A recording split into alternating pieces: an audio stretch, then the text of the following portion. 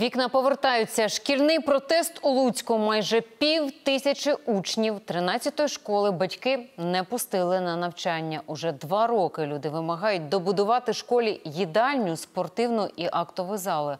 Адже відколи закрили старе аварійне приміщення, діти тренуються у підвалі, у коридорах та на дворі. А щоб пообідати, треба пробігтися через двір. І це при тому, що школа за два кілометри від центру міста, а не в сільській глибинці.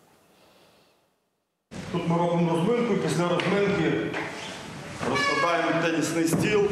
У тісному класі або у темних підвальних коридорах відбуваються уроки фізкультури в майже пів тисячі учнів Луцької школи номер 13. Про активності у таких умовах не йдеться. Грають або в настільний теніс, або в шашки. Діти тут е, під час уроків бігають тільки на місці. Побігати, а дітям обов'язково потрібно рухатися на, фізич... на уроці фізичної культури. Коли погода хороша, дітей ведуть на спортивний майданчик поруч зі школою. Лише тоді заняття минають активно. Після дощу, як зараз, це робити неможливо, тому що там мокро. Взимку сюди ми дуже рідко виходимо. Коли поле мокре, взуття слизьке, не можна бігати, падаєш ті калюжі. Старий аварійний спортзал зачинили ще два роки тому, а за новий досі не взялися. В тріщинах і їдальня розташована в окремому приміщенні за 200 метрів від школи. Актової зали у навчальному закладі взагалі немає. Батьки та діти обурені, бо проблему ніяк не вирішують. Нас ніхто не бачить, нас ніхто не, від- не, не чує, з нами ніхто не спілкується. Єдина наша можливість була спілкування це оця, оця переписка. А результат нульовий.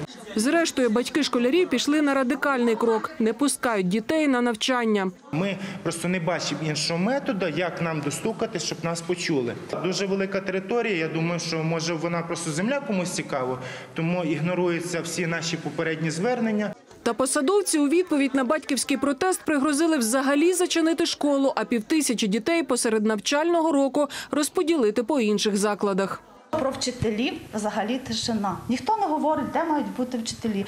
Якнайшвидше добудувати школу батьки пішли вимагати до міської ради. Чиновники виправдовуються. 70 мільйонів гривень для міста – то великі гроші, тому проситимуть їх у держави. Вони добудовуються за рахунок Державного фонду регіонального розвитку. Ми подавали на Державний фонд регіонального розвитку такі документи. Подавали, подавали позаминулий раз. Рік. Рік тоді подали. Нам сказали, ми на наступний рік. В цьому році жоден об'єкт з міста Луцька по ДФРР вирішили не фінансувати. Зрештою, дійшли згоди лише в одному – переконуватимуть обласну владу переглянути список об'єктів, які фінансуються із державного фонду. Діти поки що залишаються вдома. Батьки припинять протест, коли переконаються, що за проблему все-таки взялися. Катерина Курбанова, Павло Лісівненко, програма «Вікна», СТБ.